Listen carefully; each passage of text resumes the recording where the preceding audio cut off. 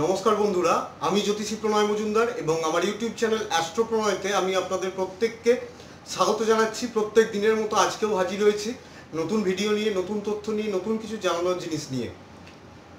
গত ভিডিওতে গত দিন একটি ভিডিও পাবলিশ করেছিলাম এক দুদিন আগে, যে শ্রাবণ মাসে কীভাবে আপনারা রুদ্রাভিষেক করে নিজের মনস্কামনা পূরণ করতে পারেন, ভগবান মহাদেবের কাছ থেকে আশীর্বাদ প্রাপ্তি করতে পারেন। আপনারা বহুজন আমাকে মেসেজ করেছেন।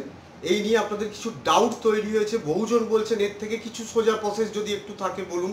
কারণ আমাদের ফার্স্ট লাইফ প্রচণ্ড ব্যস্ত আমরা জীবনে চলার পথে সব সময় প্রতিষ্ঠা করা মন্দির বা সব সময় বাড়ি থেকে কোনোভাবে এই জিনিসগুলো করা সম্ভব হয়ে ওঠে না বা সম্ভব নয় এই জিনিসগুলো। এর থেকে কিছু সোজা প্রসেস তা শ্রাবণ মাসের এই যে তিথি, এই তিথিকে আমরা যদি রুদ্রাভিষেক না করেও বাড়িতে সাধারণ কিছু প্রয়োগবিদ্যা বা বাড়ির আশেপাশের কোনো মন্দিরে গিয়ে করতে পারি, সেটাও ভীষণ ভালো রকম ফল ডেকে আনতে পারে আমাদের জীবনে, আমাদের উন্নতির জন্য, আমাদের সাফল্যের জন্য। সেই তথ্যটা আজকে তুলে ধরবো আপনাদের কাছে। এই শ্রাবণ মাসের যে চারটি সোমবার, এই চারটি সোমবারকে কীভাবে আপনারা পুজো করতে পারেন, খুব সোজা, ঘরোয়া কিছু প্রসেস রয়েছে, তার তথ্য আমি আপনাদের কাছে জানাব। আমার চ্যানেলটি ভালো লাগলে চ্যানেলটি সাবস্ক্রাইব করুন এবং বেল আইকনটি প্রেস করে নিন। বেল আইকনটি প্রেস করলে নতুন ভিডিও সবার আগে আপনাদের কাছে পৌঁছে যাবে। চ্যানেলটি সাবস্ক্রাইব করে সাথে থাকুন। অবশ্যই জ্যোতিষভিত্তিক তথ্য বা জ্যোতিষ রিলেটেড তথ্যগুলো আপনারা প্রত্যেক দিন আমার চ্যানেলের মাধ্যমে পেতে থাকবেন। অনেকে বলছেন যে আমার বাড়িতে শিবলিঙ্গ প্রতিষ্ঠা রয়েছে বা আমার বাড়িতে রয়েছে শিবলিঙ্গ, আমরা প্রত্যেক দিন পূজা অর্চনা করি। তা সেখানে কি করা যাবে না? বা সেটাই যদি করা যায়, তার কি প্রসেস আছে? বা তার কি পদ্ধতি রয়েছে বা আমরা ঘরে কীভাবে করতে পারি? সেই তথ্যটা আজকে আমি আপনাদের কাছে দেবো বা জানানোর চেষ্টা করব।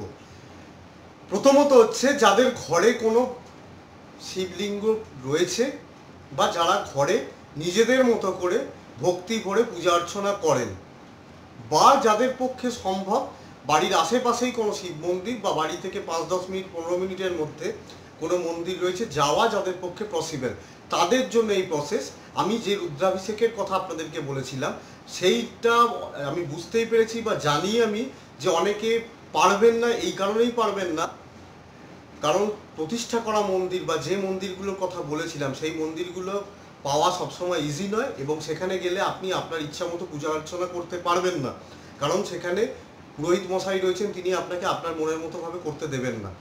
না, এটা ঘটনা তা নিজের বাড়িতে করুন বা বাড়ির আশেপাশের কোনো মন্দির, যে কোনো মন্দির যেখানে মনে হবে করুন, কিন্তু পুজোটা যে কোনো একটা শিবলিঙ্গকে নিয়েই করবেন। যেটা আছে, শুরু করবেন যেখানে, সেই সেই জায়গাতেই বা সেই মন্দিরেই করবেন। অনেকে বলেন যে, বা অনেকে চান যে আজ আমি এই এই মন্দিরে গেলাম, কাল অন্য একটা মন্দিরে যাব। এটা গৃহস্থ মানুষদের জন্য প্রপার উপযোগী নয়। যারা ভ্রমণ করছেন বা যারা বেরিয়েছেন, ভ্রমণ পথে বেরিয়েছেন বা পরিক্রমা কোনো জায়গায় করছেন, যেমন নর্মদা পরিক্রমা করছেন, এর তথ্য আমি ভবিষ্যতে দেবো আপনাদেরকে, এর ডিটেলস তথ্য আলোচনা করব। তাদের ব্যাপারটা আলাদা। তারা সাধারণ মার্গেই রয়েছেন, কিন্তু আমরা গৃহস্থ মানুষ, আমাদের জন্য এটা পসিবল নয়। যেটা করবেন, প্রথমত হচ্ছে বাড়িতে করার জন্য সামান্য একটু চন্দন নিন। চন্দন বেটে নিন, সামান্য একটু চন্দন চন্দ আপনাদের চন্দন পিড়িতে বেটে নিন। দু নম্বর হচ্ছে একটু ভস্য তৈরি করুন। ভস্য বলতে শ্মশান থেকে ভস্য আনার দরকার নেই। বাড়িতে বেলকাঠ হলে সর্বাপেক্ষা উপযুক্ত। কিছু না পেলে কাঠকয়লার গুঁড়োটা, কাঠকয়লাকে পুড়িয়েও সামান্য একটু ভস্য বা ছাই তৈরি করে নিন। একটু বেলপাতা জোগাড় করুন। কিছু একশো আট হলে অতি উত্তম, একশো আট না হলে এগারোটাও চলবে। বা তিনটেও চলবে ত্রিপত্র বেলপাতা বেলপাতা। তিনটে পাতা থাকবে যা, সেই রকম বেলপাতা। পরেরটা হচ্ছে একটা যদি সম্ভব হয় ধুতুরা ফুল জোগাড় করুন। এবং সামান্য একটু দুধ জোগাড় করে নিন। আপনাদের প্রত্যেকের বাড়িতেই দুধ থাকে, যেভাবে হোক জোগাড় করুন। ফোটাবেন না, কাঁচা দুধ যেটাকে বলছে, জোগাড় করে নিন। এরপর যেটা করতে হবে প্রপার স্নান করলেন, শুদ্ধ বস্ত্রে ঠাকুরঘর বা বাড়ির পাশের মন্দিরে। আপনারা গেলেন, যাওয়ার পর প্রথমত, প্রথম যেটা করবেন, সেটি হচ্ছে সামান্য একটু গঙ্গা জল প্রভুর মাথায় ঢেলে নিন। ঢালার পর চন্দন যেটি আপনারা বেটেছেন, সেটি প্রভুর অঙ্গে মার্জনা করুন এবং তার সাথে সাথে সেটি কমপ্লিট হলে আবার একটু জল দিন এবং তারপর যে ভস্যটি আপনারা তৈরি করেছেন ছাই ভস্য, সেটি প্রভুর সারা অঙ্গে লেপুন। হয়ে গেল। এইবার আপনারা আবার গঙ্গা জল দিয়ে প্রভুর শিবলিঙ্গটি ধুয়ে নিন। কমপ্লিট। এরপর যদি সবচেয়ে ভালো হয় যদি পঞ্চামৃত করতে পারা যায়, পঞ্চামৃত করা এমন কিছু টাফ নয়। দুধ, দই, ঘি, মধু, চিনি মিক্সচার সেটি প্রভুর মাথায় অর্পণ করুন, মনের ইচ্ছা জানিয়ে এবং মনের ইচ্ছা জানানোর পর শিব মহিমা স্তোত্র স্তোত্রটি হচ্ছে শিব মহিমা স্তোত্র এই মন্ত্রটি চ্যান্টিং করতে থাকুন, কোনো কিছু দেখে কোনো একটা জায়গায় কাগজে আপনারা লিখে নিতে পারেন নেটে পেয়ে যাবেন মন্ত্রটি। লিখে নিয়ে মন্ত্রটি দেখে দেখেই প্রপার যথাসম্ভব ভক্তি ভরে প্রার্থনা করুন, মন্ত্রটি চ্যান্টিং করুন। সেটিও যদি না পড়েন, ওম নম শিবায়, এই মন্ত্রটি যতবার পারবেন, কোনো বাধ্যবাধকতা নেই যে একবার একশো বার দুশো বার পাঁচশো বার করতে হবে। যতবার পারবেন, মন্ত্রটি উচ্চারণ করুন, প্রভুর কাছে ভক্তি ভরে নিজের মনের প্রার্থনা নিবেদন করুন। লাস্টে পুনরায় গঙ্গা জল ঢেলে নিন, পুনরায়। দুধটি দেওয়া হলো বা যদি পঞ্চামৃত হয়, পঞ্চামৃত দিয়ে আবার গঙ্গা জল দিয়ে প্রভুর অঙ্গকে পরিষ্কার করে দিলেন।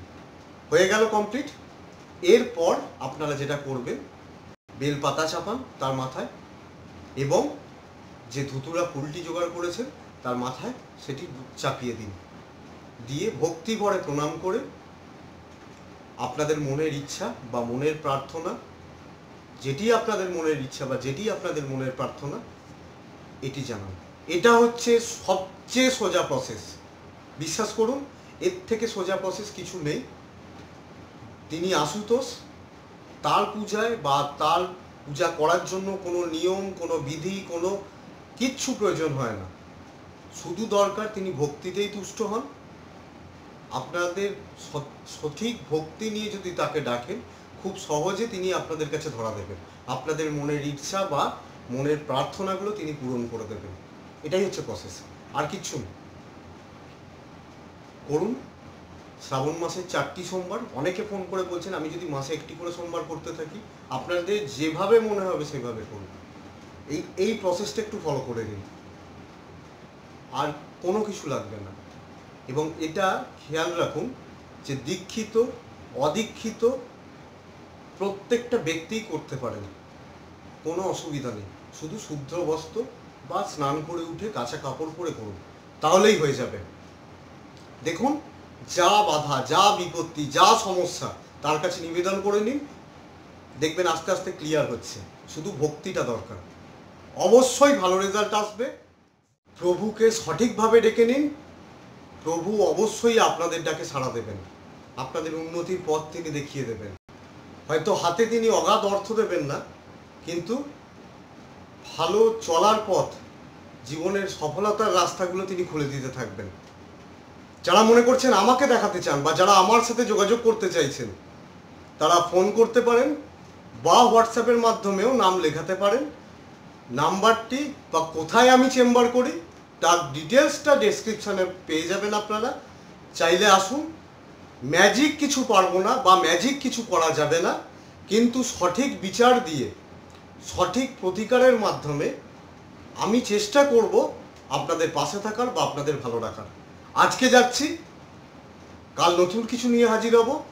ঈশ্বরের কাছে প্রার্থনা করি আপনারা প্রত্যেকে সুখে থাকুন, ভালো থাকুন, শান্তিতে থাকুন। নমস্কার।